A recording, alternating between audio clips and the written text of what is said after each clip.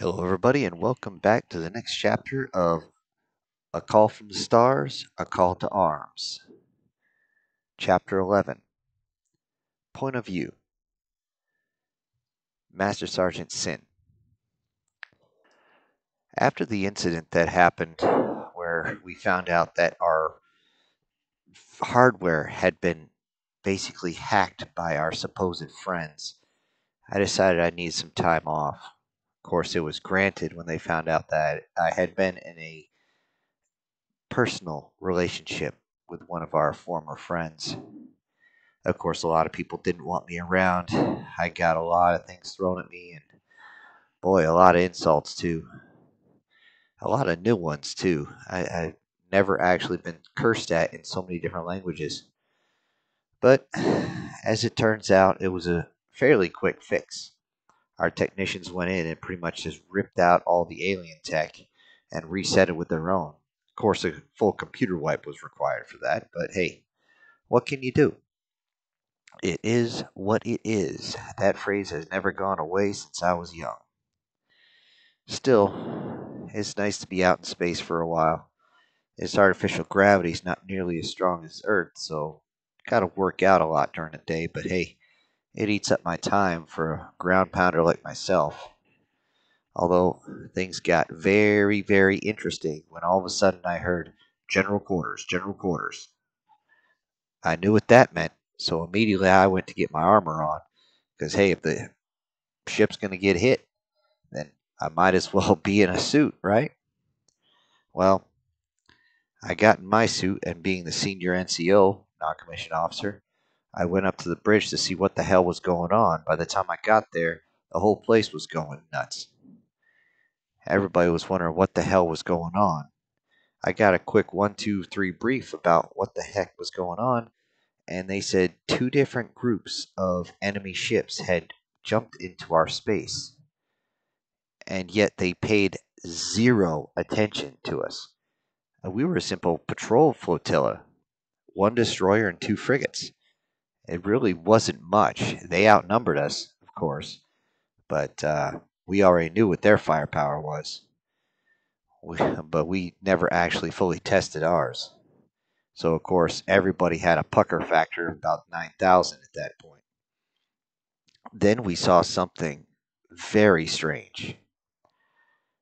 The small group behind the larger group of alien ships fired at their friends.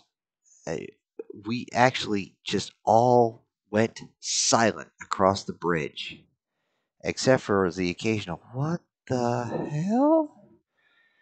It was very, very strange.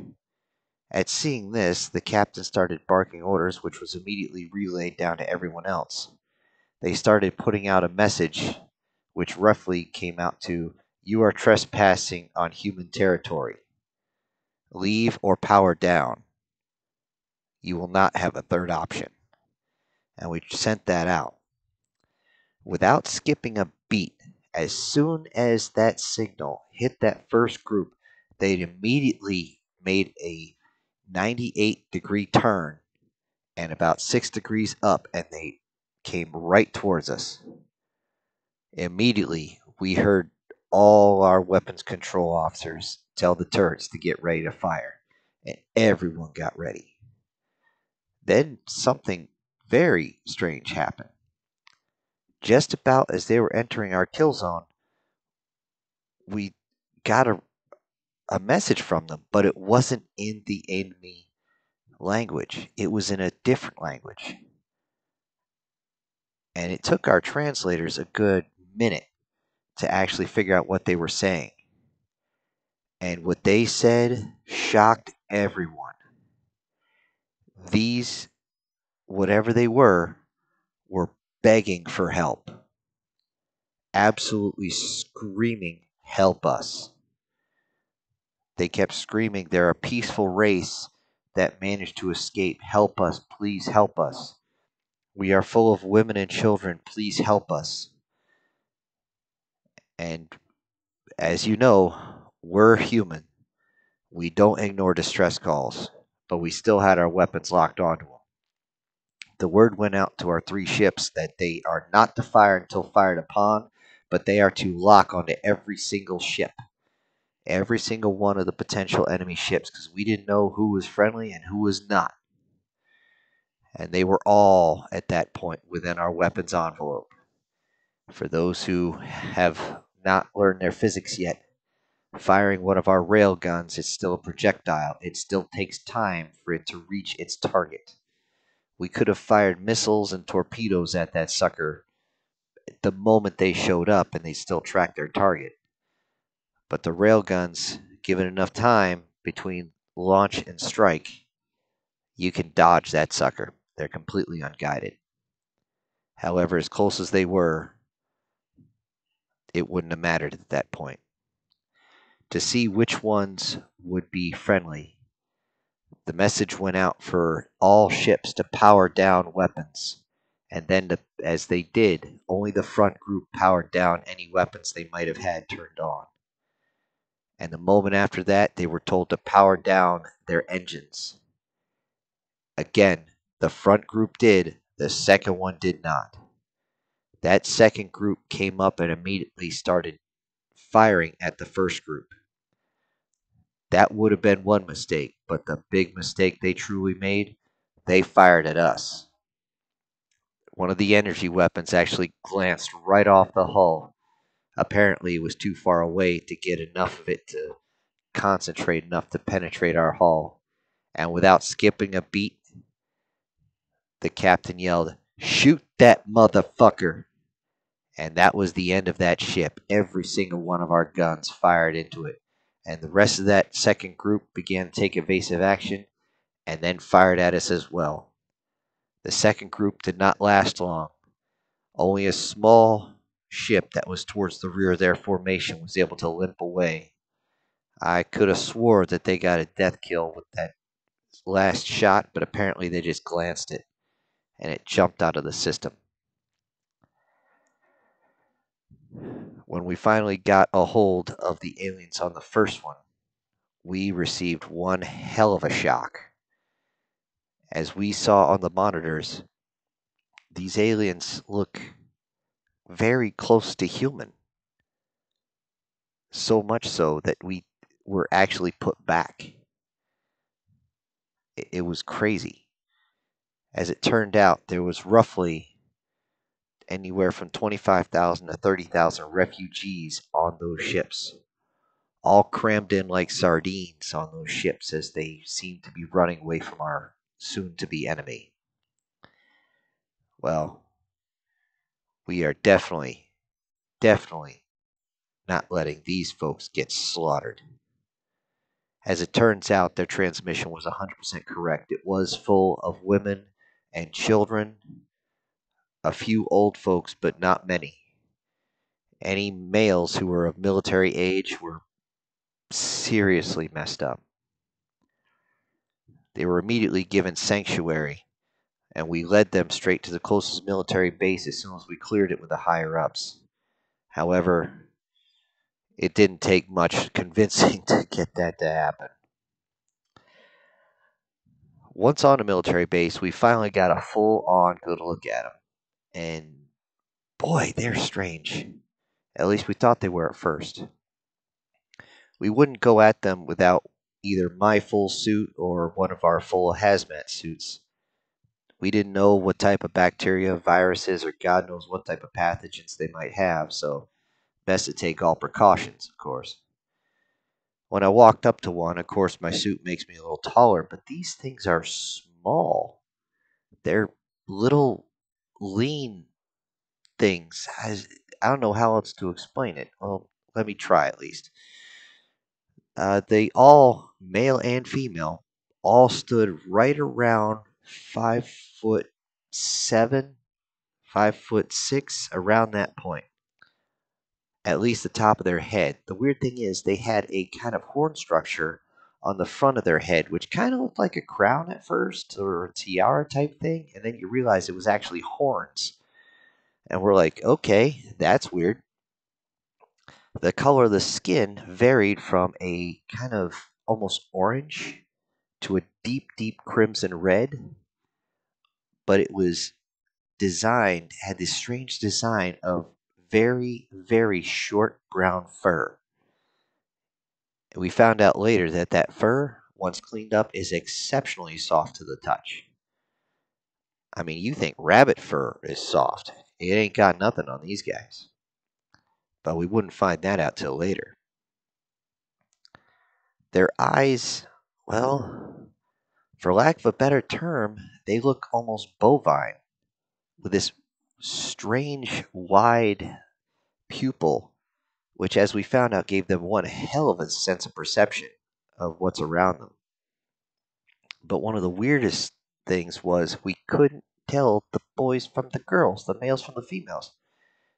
They're so limited on dimorphism, at least to human standards, we couldn't tell. It wasn't until we actually got them on the base and had them clean up that we realized, um, yeah, there's different parts down there, which made things a whole lot easier. We gave the males more obviously male human clothing and the females more feminine clothing, so at least we could tell them apart. It was actually a little weird. The kicker is when we finally realized that they were not going to get us sick or anything like that. I was one on the security detail when we were actually able to show ourselves to them. And boy, did that get interesting. We didn't understand their biology fully at that point. We do understand it now. But the moment that a bunch of us raised our visors and the contingent of politicians and medical staff pulled off their coverings, something happened to them. Raised the pheromone levels in that room to a degree that the sensors actually started going off, saying there's trouble, something's wrong we come to find out that these this species, when it comes to our genetics, they are immediately drawn to us in a, shall we say, intimate manner. It actually was funny at first. The amount of jokes that came out on that one was absolutely crazy.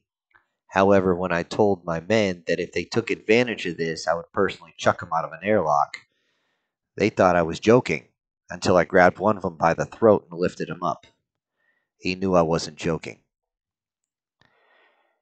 Of course, we had to make sure that the rest of the staff wouldn't take advantage of this either.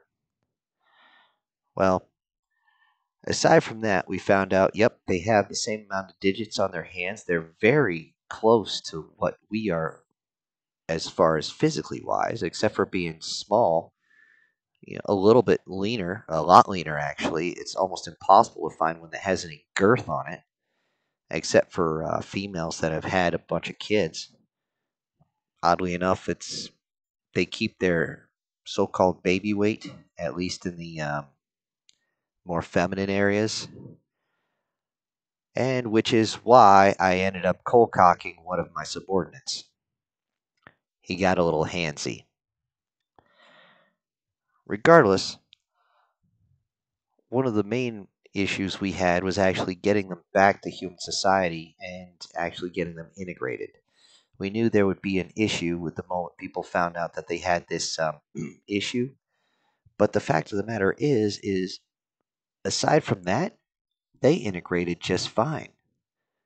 They learned English faster than we ever thought possible, although we still had a problem speaking their language mainly because seriously, are we the only species in the universe without a forked tongue?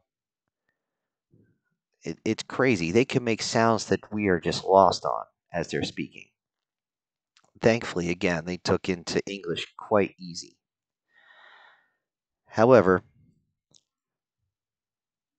one of the main issues that we have was that the uh, the ones that were there, they began to bond with us.